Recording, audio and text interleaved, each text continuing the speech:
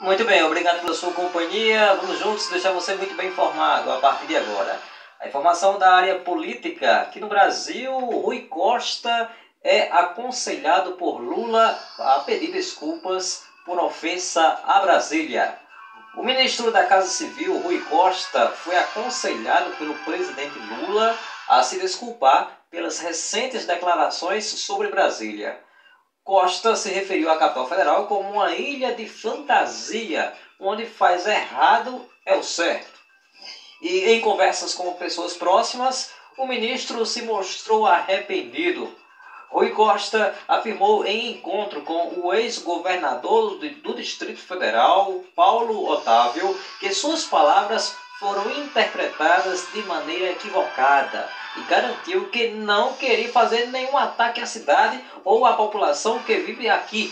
Segundo ele, suas declarações criticavam o momento político brasileiro e usou Brasília como uma metáfora. Polêmica, hein? Na capital federal, Brasília. Esta foi a principal notícia. Outras informações você acompanha no nosso canal, ativando o sininho, deixando seu like, seu comentário. Também pode obter mais informações através das redes sociais, meu Instagram, o underline, Ralph José, e também informações através da página Jornal Eletrônico no Facebook. Um ótimo dia e até lá!